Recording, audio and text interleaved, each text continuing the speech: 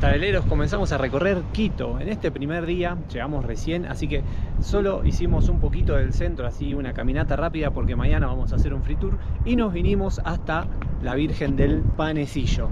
La verdad, la vista está muy buena, así que vale la pena llegarse hasta acá. El Uber cuesta unos 2 dólares más o menos.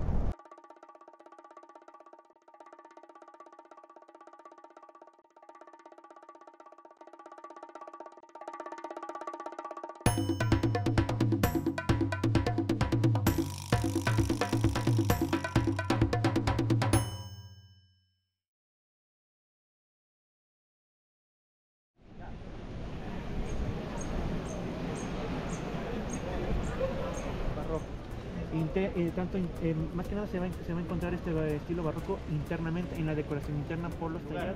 Como lo comparo, imagínense los españoles llegando al Dorado.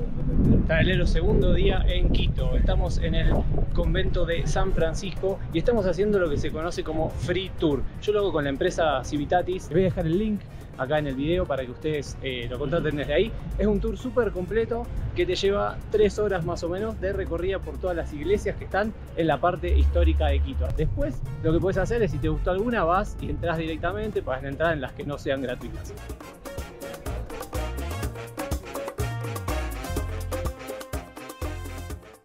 El tour también tiene unas degustaciones, en este caso vamos a hacer una degustación de cacao enfrente de lo que es justamente el convento que les mostraba antes. La verdad que la vista desde acá está espectacular. Fue en México. ¿Por qué? Porque ellos tenían, porque en la, en la lengua náhuatl, en, la, en lo que sería de la misma tribu, tenían una bebida que se le llamaba chocolate. Bueno, terminamos el tour en la calle de La Ronda, que es la calle típica de bares y souvenirs. Está vacía porque se va activa recién a partir de las 7 de la tarde. Ahora sí, nos vamos en metro hacia lo que es la mitad del mundo. Tienen que tomar un metro y un bus. Si no, pueden contratar un, un transfer que los lleve directamente hacia allá, pero bueno, obviamente es mucho más caro. Uy, me. Perdón el agite, pero estoy subiendo y acá la altura de Quito es terrible, así que eso sépanlo, otra cosa que no les dije. Si tienen problemas de respiración eh, o les cuesta lo que es la altura, eh, mastiquen hojas de coca, tomen mucha agua, hagan caminatas lentas, suaves, porque se siente, se siente bastante la altura. Hemos llegado a la mitad del mundo. Es un tramito un poco largo, eh, desde Quito, aproximadamente una hora en bus o 40 minutos si vienen en taxi. Eh, acá se paga una entrada de 5 dólares y tenés distintas cosas para hacer, así que bueno, ahora vamos a estar recorriendo este lugar. Comenzando con el recorrido, tenemos lo que es viviendas ancestrales. Acá están creadas viviendas de los grupos aborígenes que estaban en Ecuador antes de la conquista.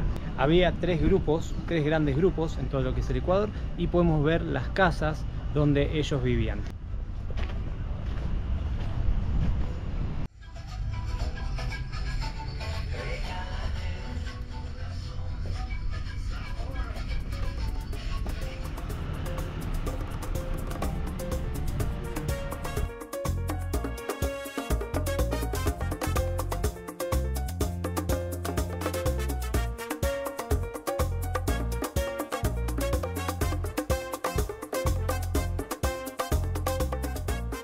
Bueno, otra de las opciones que tienen también acá adentro es el trencito. Este es un trencito que te recorre todo alrededor de lo que es el complejo y la verdad que está bueno como para tener un pantallazo de todo. Después vos vas a elegir a dónde querés ir. En esta zona existe el famoso reto del huevo que se puede mantener parado sobre un clavo debido a que se juntan las fuerzas gravitacionales de la Tierra. Uno de los locales del complejo te da un regalito si logras hacerlo en menos de 20 segundos.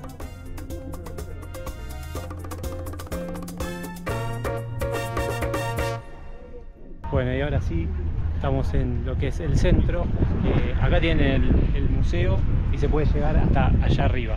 Eh, tengan en cuenta que no es exacto este lugar, eh, acá no es exacto, exacto el centro del mundo, creo que es a 200 o 300 metros de acá. Pero bueno, tómenselo con gracia y diviértanse con las fotos.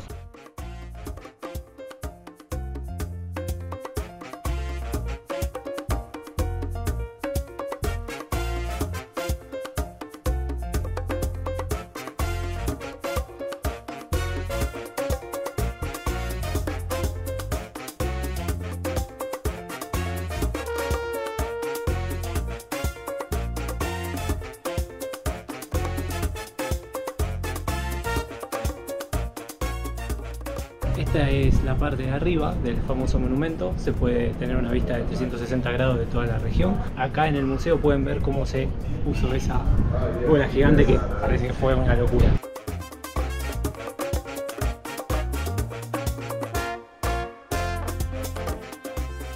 En el complejo hay numerosos atractivos como el Museo de la Cerveza y el Chocolate, un planetario, juegos para niños y una plaza cultural.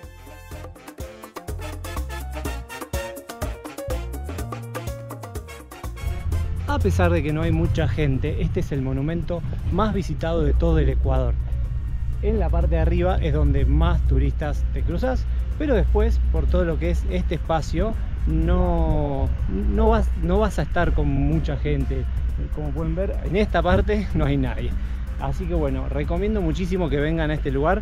La verdad tienen de todo para hacer y está muy muy bonito. Para terminar de conocer Quito tienen que venir a la zona norte de la ciudad es totalmente diferente. Calles anchas, edificios, shopping, nada que ver a lo que es el casco histórico.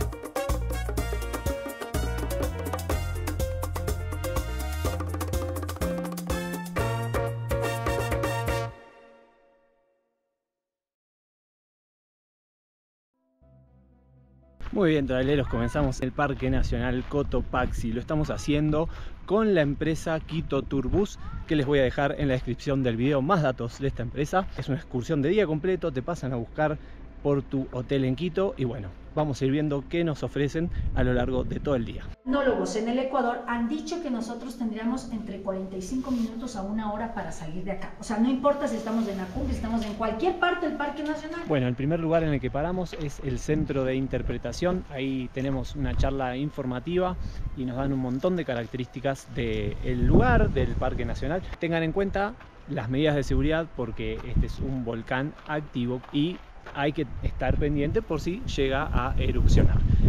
No creo que lo haga hoy, ¿eh? no creo que tengamos esa suerte, pero bueno, ustedes capaz que vienen y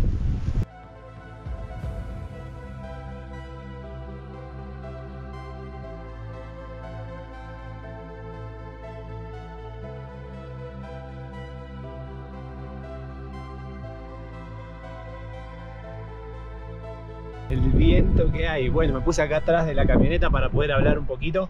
Hacemos otra parada para sacarnos fotos, aprovechando que se despejó más, porque dicen que después se va a nublar. Vamos a ver, esperemos que no. Pero bueno, acá paramos, nos sacamos unas lindas fotitos. Hay mucha fauna también en la zona. Hay zorros, hay pumas, hay osos, que, osos de anteojos. Son osos negros con unas aureolas blancas. Hasta ahora el, el paseo me está gustando muchísimo y el paisaje es hermoso.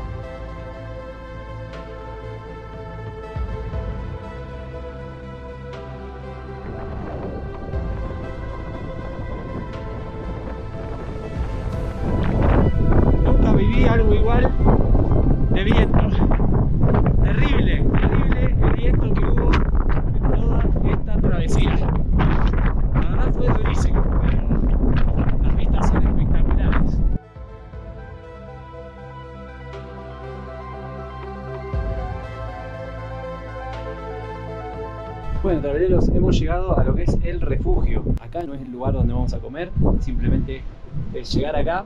Si el día está mejor, si no hay tanto viento, pueden hacer un ascenso más y llegar hasta los 5000 metros. Yo me voy a tomar un chocolatito caliente, descanso un ratito acá y ya empezamos a emprender la bajada para así almorzar.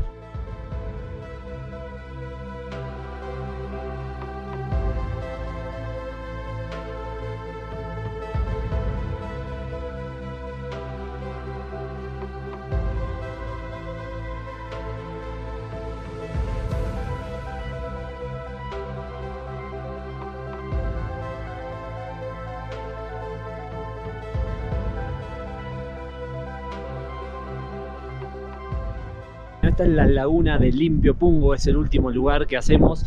Se ha ocultado un poquito el Cotopaxi y se ha anulado y hay viento. Pero la verdad que la pasamos muy bien en todo el recorrido.